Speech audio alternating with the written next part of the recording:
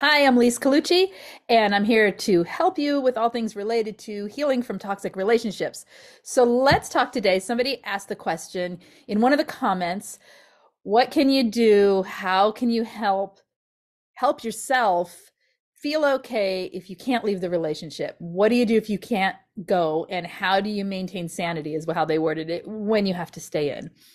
So, a number one thing here is having some space from the relationship itself, having something for yourself outside in your life, having things you do, people you see, people you talk to that the narcissist isn't involved with, the toxic person can't touch, so to speak. If you can possibly do that, if you can't do that, then there's other things you can try. Okay, but a lot of people have are in situations where they can't leave for whatever reason, can't get out or can't go completely no contact and they still have that thread back to the toxic person who will not leave them alone and will not like let them have peace so it's not involving like say it's a narcissistic parent and you do not wish to go no contact stop telling them things about your life do have your life separate from them and then have that part have nothing to do with them. Don't share it with them. Don't have those kind of interactions with them. And yes, you're losing someone, you're losing having a parent to talk to about this stuff, but you don't really have one anyway if you have a toxic parent, right? So, and if you're in the relationship with someone and you can't get out and they're in the home with you, if you're able to have space, have your own things you do, your own friends you see, your own your own life as much as you possibly can, whatever's safe and sane within that situation for you. Another thing is remember, it is really important to break the enmeshment with them, to break the codependency to them. Stop having interactions with the narcissistic person that are you trying to get them to like you? Are you trying to get them to do anything, to try and control anything about their behavior other than trying to diffuse things so that you can have some sanity? So it's about not having the need for them emotionally to be there for you, which is sad, but it's the truth of what the situation is. Anyway, it's in seeing the toxic person for who and how they are and having the self care going on and having the self focus for yourself in your life so that you're not looking to them to be your friend, companion, confidant, and all of that Otherwise, that enmeshment with them emotionally, it means you're invested in it and you're going to lose yourself to it. We lose ourselves to these relationships. If you can't get out, ask yourself why you can't get out. Is it truly that you can't get out, or you're not ready to get out, or you're not willing to get out? Start being honest with yourself so that you can see the truth of it. If it's, I'm not willing to, that's okay too. Just keep moving forward, keep finding other things for your life. Self care is super, super important here. You've got to do things for you. That can mean everything from going out in life and doing things for yourself to people who have no time for that or no no funds or income or, or, or anything like that change the way you operate in your day. You take a shower you brush your teeth you eat a meal. These are all things you do hopefully uh, privately and for yourself right?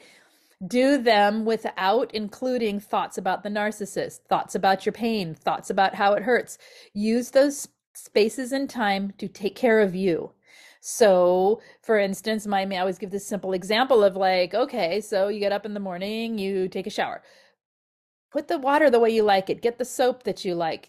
Take your time when you enter the shower tell yourself this is a peaceful place right now. I am washing away everything I need to wash away. I am letting go of whatever it is you need to let go of.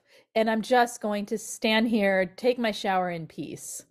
When the thoughts creep up, tell yourself, no, not right now. That can happen later when I get out of here. That'll be the rest of the day. For now, I'm having peace. If you don't take the breaks, you are literally marathon running your way through life without even a sip of water. You are just going full steam ahead and of course it's going to uh, affect you either mentally physically or emotionally and most likely all three so those are a couple of tips um, have someone to talk to sometimes when you can't leave it's vital to stay in therapy or coaching it really is if you have a therapist or a coach who understands and is not critical and judgmental of you and your own decisions for your life or your inability to leave for whatever reason then you are in a safe enough place to talk about it without judgment and be able to vent and process the things that go on so that you have a place to get it out, be heard, and be validated. All right. And if that isn't happening, find someone that will do that. Now, I'm not saying validate your reasons for staying. Sometimes as a coach, we need to ask the questions and the hard questions of people that get them to look at their life because what they want is freedom.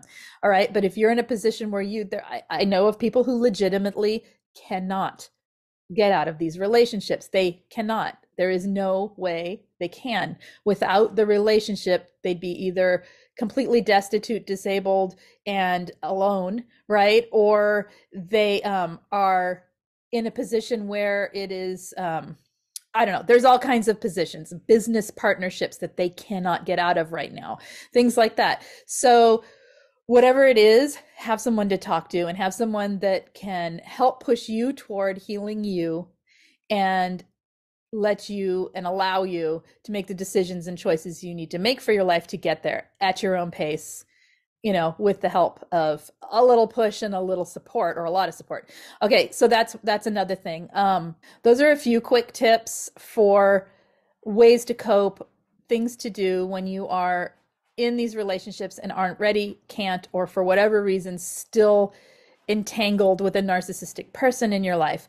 Um, if there'll be plenty more tips we could come up with here, and let me know in the comments what you think, or if you're struggling with this, if you have any further questions, so that we can keep talking, because this is a good topic to bring up at least every other week on here, I think.